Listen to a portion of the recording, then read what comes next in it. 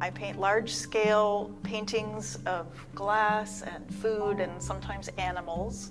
And um, a lot of my pieces um, are kind of messages in bottles. There's a lot of history to the, this bottle in particular. Um, this is Lydia Pinkham, and she was a person who lived in the 1800s, and she created tonics for women with female issues. they were non alcoholic tonics, and they still exist today. And so she was a really early um, female entrepreneur. And I appreciate that. So it's one of the things I like to bring to my work is that the bottles that I'm capturing have some meaning behind them.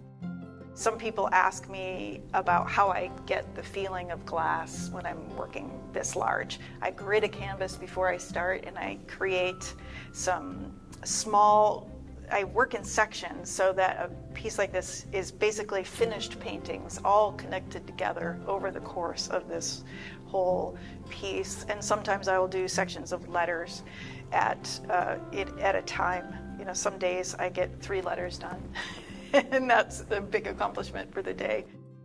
As I'm painting it, I actually don't know what I'm working on. I'm looking at something on my computer and I'm creating what I see in that moment. And hopefully, if I've done it right, as I stand way back, you will see the thing that you want to see. And while it's a large piece, one of the things that I never use is large brushes. My brushes are at most this, uh, this big. So every little bit of this painting is done with a little teeny tiny brush.